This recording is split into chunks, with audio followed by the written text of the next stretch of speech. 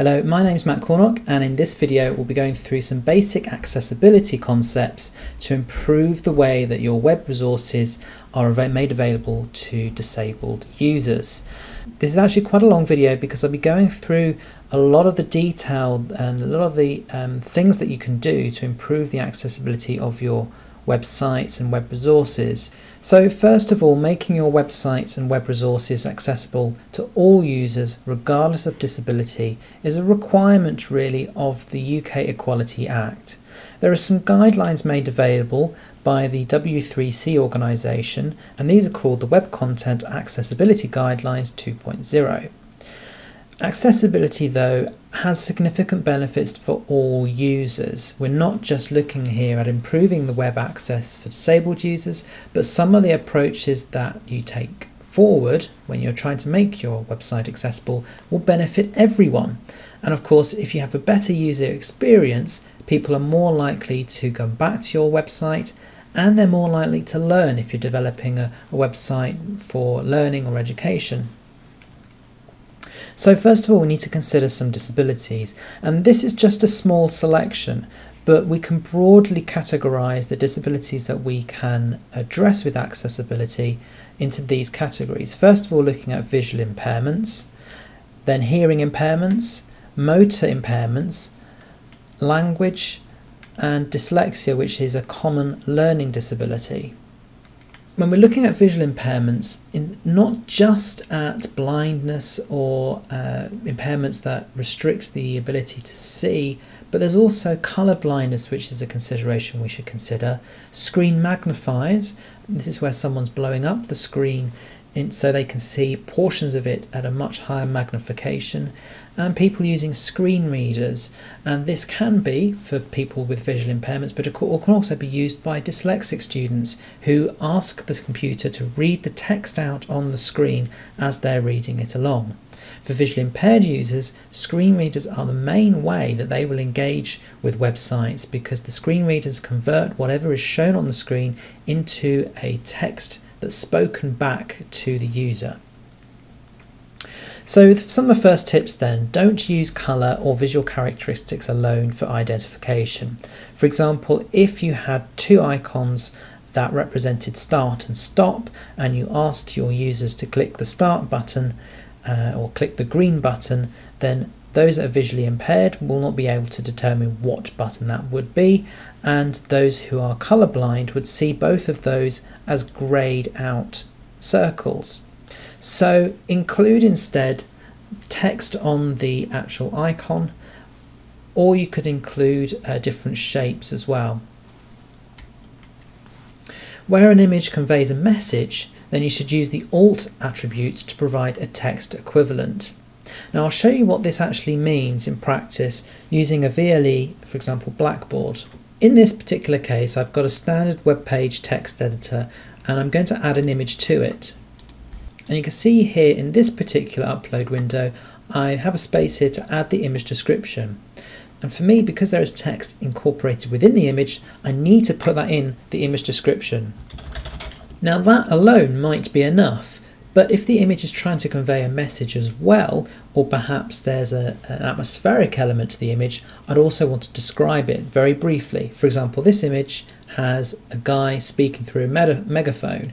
So I'm going to just put that in here as the image description. So my image description now reads social media for social policy, photo of a guy shouting through a megaphone. So that's how I would add my description in a, in a VLE such as Blackboard.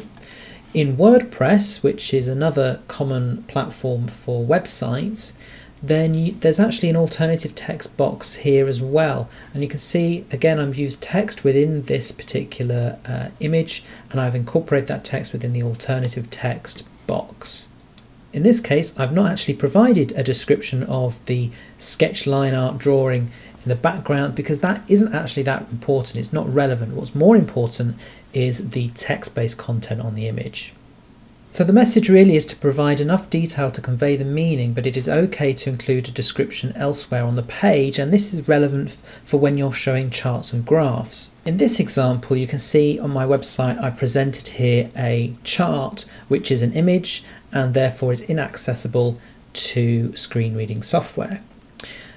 Instead of providing a detailed description of all the individual points within this graph, I've actually just provided within my alt text there graph showing desktop, laptop and tablet ownership for 2011, 12 and 13, significant details discussed in the main text and table of 2013 results available below.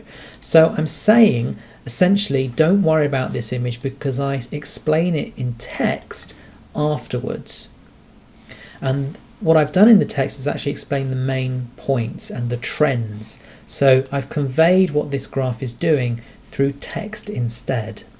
At the bottom, I've also provided the most recent results, the ones that are relevant to this blog post, in a table format so that people can easily find uh, the results and the accurate numbers. Because if we look at the graph as well, we don't really know the accurate figures from this uh, chart. So having a table is useful to everyone as well as those using screen reading software. I provided examples there where text was actually part of the image, but where possible, if you have the technical ability, don't put text within the image and instead lay it as normal selectable text in plain text format and place the image as a layer underneath it. You'll also need to consider the way that colour is used on your website, but not just colour, in terms of shade as well. So if we give this example here, this box here has a poor contrast. We've got a dark blue against a medium blue, and that's actually quite difficult to read if you don't have good vision. So instead of using that, think about different colour combinations, um, but not just colour, think about the tone as well. So I could use, uh, for example, a yellow, which would be at the same sort of brightness level as the blue. But if I did that and the user was printing it out on black and white or had some form of colour blindness, perhaps those colours wouldn't be distinctive enough. So think about lightness as well as colour contrast. For hearing impairments, you need to caption all videos with subtitles and, where appropriate, add descriptions of other relevant sounds. So this is also relevant to users without speakers or headphones, perhaps if they're listening to a video, perhaps they're watching a video in an office environment, they don't have headphones, they can't use speakers, or perhaps they're watching a video on a mobile device that doesn't have the best quality audio and it's difficult to hear what the speaker is saying. Captions are really useful. If we look at YouTube, there's an option within YouTube to add captions to your videos. If I play this now, you can see here how I've started with actually saying who's going to be speaking in square brackets. And then what I've been said is going over the top of the video screen there. Now, you can add this really easily within your uh, video manager page, if you go to your video list, then click the arrow next to the edit button and then choose subtitles and CC, which stands for closed captions.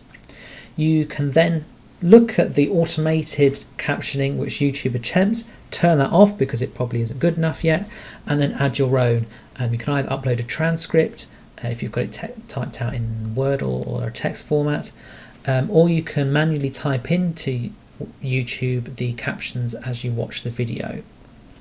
If you're creating podcasts, it might be a little bit too onerous to create a full transcript of the podcast, but at least provide a summary of the key points. Another disability to consider are those uh, disabilities to do with motor skills, and uh, that could be um, the inability to use a keyboard or a mouse. These users might use uh, trackpads or they might use the keyboard alone and not able to use a mouse, and it is still possible to navigate websites without using a mouse. If you wanted to test your own site, use the tab key to navigate through your web pages and the enter key to activate links. You can also use the backspace to go back a page, and that will give you an impression of how usable your site is without the use of a mouse. Complex language can also be a barrier. So you have to think about your target audience.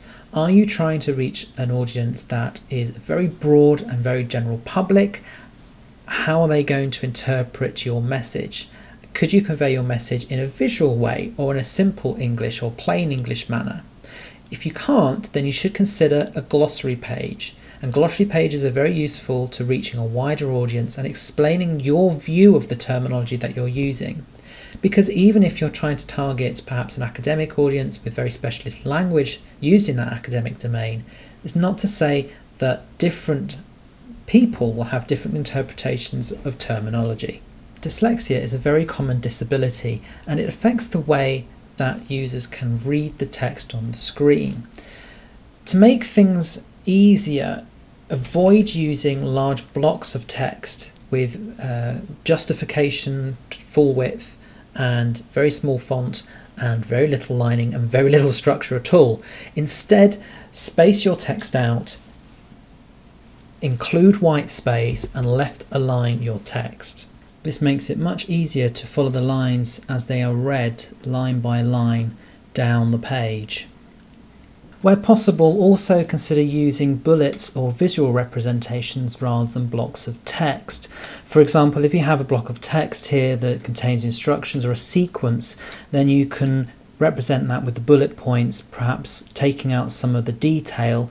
Um, so if it's an instruction based uh, description, then you need to take out the detail, put the detail later on, um, or you could perhaps represent that more easily as a, as a flow chart perhaps. So where there is sequential information, think about the way that can be reduced in some way to make it easier to follow the instructions one by one.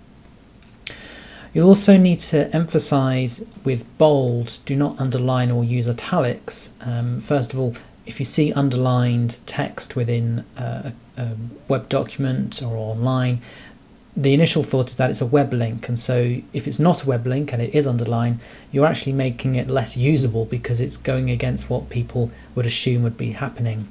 For italics, blocks of italics can also be difficult to read, so when you want to provide emphasis, just bold one or two words that deserve the emphasis. If you bold a whole chunk of text, of course, that's not going to stand out and you're going to lose the point of emphasizing it. But bold is a much safer way than using underlining or italics to draw attention to a particular part of the text. For users with screen magnifiers, you have to consider that the whole page might not be seen at once. So for example, with a screen magnifier, you may just see part of the page at any one point in time. And if on the side of the page you have some standout boxes you really want people to look at, you're going to have to flag that up within the text. So for example, you could say something along the lines of further information on all these reports is available through the links at the top right of the page. But you also have to remember there might be screen reader users as well who won't necessarily know where the top right of the page is. So I'd expect to see further information as a heading available on the page. And headings are really important to help navigation and provide structure. If you don't know how to use headings, then check out my other video based on them. But headings are a way for screen reading software to jump through sections of a page. They're also really useful for structuring your page for dyslexic users and actually any user to make sure that your key points stand out and you you have a flow through the content that you're trying to present. You have to also ensure that all non-text content, as we've mentioned before with images, have a text equivalent. This is because screen reading software cannot read images or text contained within images. Screen reading software can only read plain text, which might be embedded within the alt uh, attribute, or it might be just the text on the page. All links should also be descriptive. So if you have a link that says click here, if you can think of how a screen reading software might present a, a, list of all the links of the page, it might read out click here, click here, click here, click here, but have no context as to what click here is actually going to. So make sure that your links have a description to them or they provide some contextual information. So for example, just say my latest work on accessibility, provide that as a link. You don't need to prompt people to click here to download or click here to view. If you're trying to present sort of a series of links within um, a table, for example, you're trying to present um, different material about different topics, then make the links the titles of those topics. Related to this, all file downloads should have a meaningful file name and near the link show the file type as well. And what I mean by that is instead of just calling your files very generic titles, give them something specific so that when a user is downloading them, looking them back on their computer, they know exactly what that file is before they have to open it up. You can imagine if using a screen reading software, then if you've just got lots of files called slides, you're going to have to open up every single one of those files to find the one you're looking for. And that means opening up the file, opening up the new program, navigating through the, the interface that program to read the file and then close it down. And that could be quite a laborious process. So correct naming of files and descriptive naming of files are really useful. And I've mentioned there putting um, a description of what type of file it is that you're, you're asking them to download as well, because there's no point downloading a file if you don't have the software to open it, or if you're opening the file and you're not sure what software is going to be opening, it's more useful to have that description within the uh, near the download link. That could just be simply putting in square brackets word.doc or powerpoint.pptx. So to conclude then, accessibility is illegal and it's a moral issue as well. We, you know, there's a right here to make sure that what we provide online is available to everyone. You have to consider all aspects of your web resources too. Don't, don't just think about the text on your page, think about the images and the downloads and the, the way you're inviting your users to navigate around your site. Make reasonable adjustments to enable all users to engage with your content. But remember, accessibility benefits everyone. The improvements you make to your website will benefit all users, make your website more enjoyable to use, and make it more engaging to use as well. There are many web resources out there which provide more detail on the measures you can take to address accessibility, and I'll provide a link to those on my personal website at mattcornock.co.uk.